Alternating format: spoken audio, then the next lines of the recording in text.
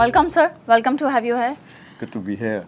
Uh, how was your experience as a jury member for IHA 2022 and what specifically has gone behind it?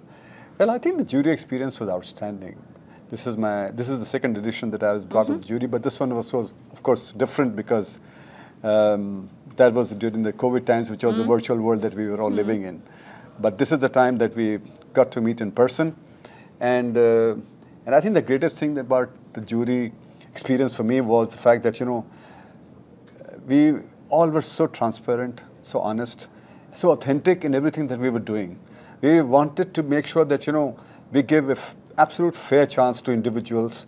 And here, all the juries, everybody's point of view, everybody had a voice. So, despite the arguments, despite the differences, despite all the battle that we used to have um, in the discussions, we were largely able to come to a conclusion as to who's really the shining star among all of these young people who have applied for these awards which was a which was a very fulfilling experience. I'm sure. I'm sure this yeah, was this yeah, was uh, your one message of encouragement to all the winners and otherwise other people who are now leading the leading with the baton. I I think uh, hope is a very important thing that people must remember because you know you can't give up on hope because this is if you're not finishing on the podium this time it doesn't really matter. You keep trying, stay at it, be be be as um, what can I say committed to the fact that you you were chosen to be there. This mm. is this was a stage for you to be there. Some if just put their sort of say chest out and be there on the podium. If you will get a chance to be there on the podium too, so so continue to work hard.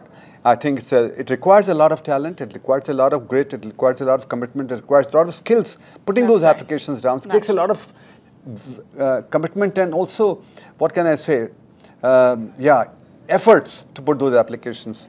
So be at it, and I'm sure you will get a chance to finish next time I'm sure around. We next are, time we around. Are, we are expecting a much brighter future ahead. I'm sure Thank the hospitality so industry is in great hands. Absolutely. When we see these winners, we see these absolutely fantastic applications that people have put.